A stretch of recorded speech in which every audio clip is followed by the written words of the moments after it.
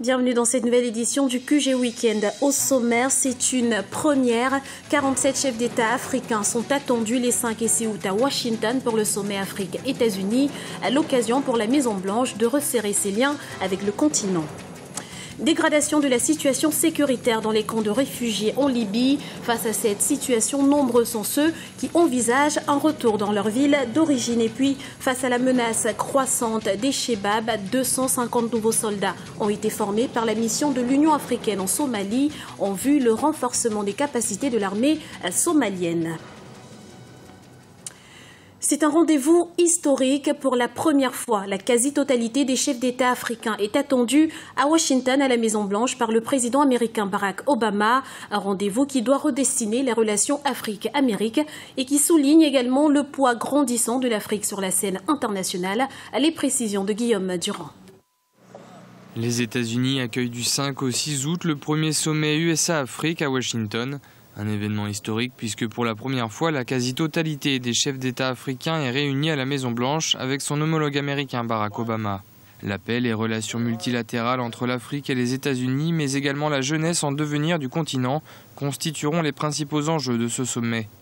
La démarche est pertinente dans la mesure où nous avançons vers un monde véritablement qui sera constitué en, un seul village.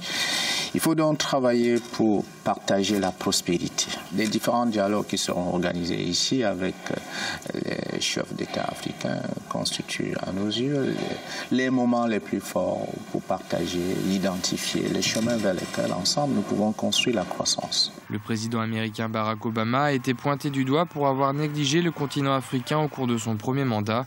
Avec cet événement, il ouvre un nouveau chapitre dans les relations États-Unis-Afrique. C'est un événement sans précédent ici à Washington en termes de relations entre les États-Unis et l'Afrique. Les objectifs de cette rencontre sont multiples. Une journée sera consacrée à la paix, une autre au partenariat, la troisième à l'engagement de la jeunesse africaine pour bâtir l'Afrique de demain. C'est quelque chose que Washington n'avait jamais entrepris auparavant. Pour certains leaders africains présents à Washington, ce sommet est également le signe de l'importance grandissante de l'Afrique sur la scène internationale. Le peuple du continent africain, ayant compris l'impérieuse nécessité de prendre en main son propre destin et de s'imposer de par le monde, en particulier sur la scène internationale, je crois que c'est à travers cette dimension que cette première puissance mondiale sur tous les plans a également compris la nécessité d'accorder une attention particulière à ce continent. Au-delà des aspects économiques, les questions de démocratie et de justice seront également au menu des discussions. Washington entend promouvoir l'idée que la bonne gouvernance et la justice sociale sont les gages de la prospérité économique de l'Afrique. La frontière entre la Tunisie et la Libye sous haute tension et pour cause des milliers de Libyens confrontés à l'escalade de violence tentent de fuir les combats et la plupart des aéroports étant fermés, la frontière tunisienne est devenue l'un des rares passages pour les résidents. Ils sont près de 6000 Libyens à traverser quotidiennement la frontière ces derniers jours en direction euh, du sud de la Tunisie. On écoute l'analyse de Mohamed Ali Aroui, porte-parole du ministère de l'Intérieur en Tunisie.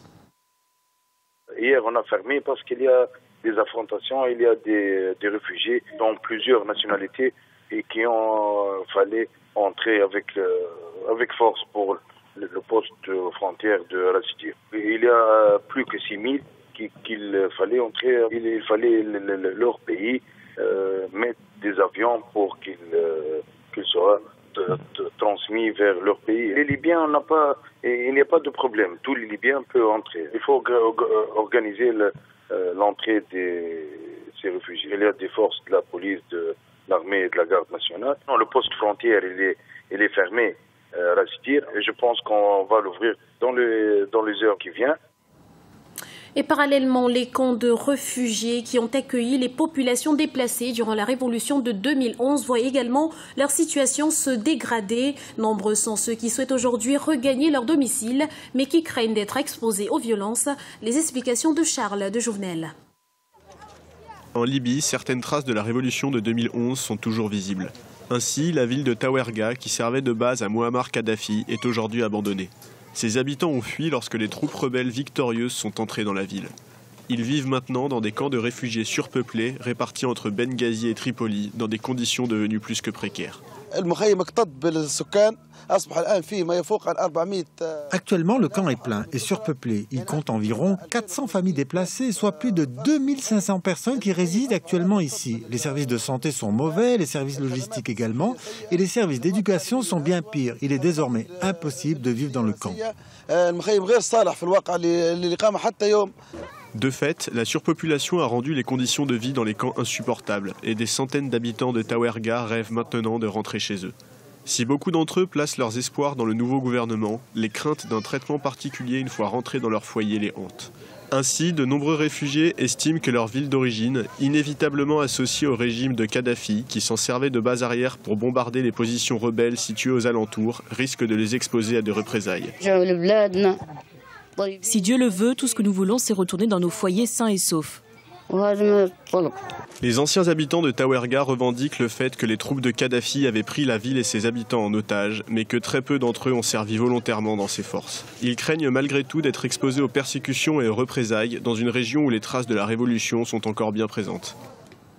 L'Union africaine, aidée par l'Union européenne, continue de former les soldats qui rejoindront les troupes de l'AMISOM, la mission de l'Union africaine en Somalie. Ce jeudi, ce sont 250 nouveaux soldats qui ont reçu leur diplôme. Guillaume Durand. La MISOM, la mission de l'Union africaine en Somalie, a formé 250 nouveaux soldats avec pour objectif de renforcer les capacités de l'armée somalienne. Le commandant de l'équipe de formation a tenu à rappeler lors de la cérémonie de remise des diplômes que seule une armée professionnelle et bien entraînée pouvait assurer la stabilité d'un pays. Nous savons que la clé du succès est d'avoir une armée unifiée et bien formée. Les efforts de l'Union européenne et de l'AMISOM sont cruciaux pour atteindre cet objectif. Le travail de formation effectué notamment par les troupes de la MISOM doit se poursuivre dans les prochaines semaines. Vous devez être un modèle et faire une différence. Vous devez être un modèle pour les autres qui viendront après et vous devez garder à l'esprit que l'avenir de votre pays est entre vos mains. Lorsque vous êtes déployé vers vos unités, vous devez apprendre à vos collègues ce que vous avez appris ici avec cette formation conjointement menée par l'Union africaine et l'Union européenne. Vous devez être fiers de vous, l'ennemi n'a pas ce genre de formation. Si les islamistes du groupe terroriste Al-Shabaab ont été chassés de Mogadiscio en août 2011, ils continuent de perpétrer des attaques dans le pays et dans la capitale. Ce vendredi, un député somalien a été tué. Il s'agit du cinquième depuis le début de l'année. Un mot de culture à présent, focus sur la galerie Yebo au Swaziland, un espace dédié à la promotion des artistes locaux. Nombreux sont ceux qui ont été découverts à travers cette vitrine. Parmi eux, l'artiste Selim Pilo Lemini, découverte avec Erika Oraga. La ville de Lombamba, la capitale royale et législative du Swaziland, honore l'art contemporain à travers la galerie Yebo. Cette plateforme offre la possibilité aux artistes et aux designers locaux d'exprimer leurs talents. Parmi les artistes, Selempilo Lamini, sa spécialité la peinture à l'huile, une technique picturale dans laquelle on utilise un mélange de pigments et d'huile cicative.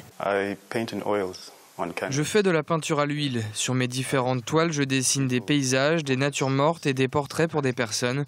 Je dessine depuis que je suis enfant et c'est quelque chose que j'ai toujours voulu faire. J'ai pris cet art à cœur. Pour l'artiste peintre, l'art contemporain devrait mieux se développer au Swaziland.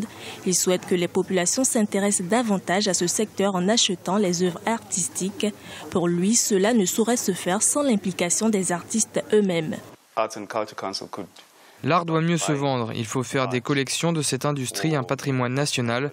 Cela pourrait stimuler l'industrie des arts. Je pense que les artistes ont besoin de se réunir afin d'échanger leurs idées pour mieux travailler. On ne doit pas attendre tout du gouvernement. Les artistes doivent travailler en permanence pour mieux valoriser l'art. Selempilo Lamini veut faire connaître ses œuvres au-delà des frontières du Swaziland. Pour ce faire, il souhaite la création d'autres galeries d'art contemporain dans le pays. Des galeries qui pourraient accueillir des expositions diverses et régulières et permettre aux artistes d'exporter leurs œuvres. Ce journal a été réalisé par l'ensemble de la rédaction. Merci de l'avoir suivi. Retrouvez dans un instant une nouvelle édition du QG Weekend sur Africa 24.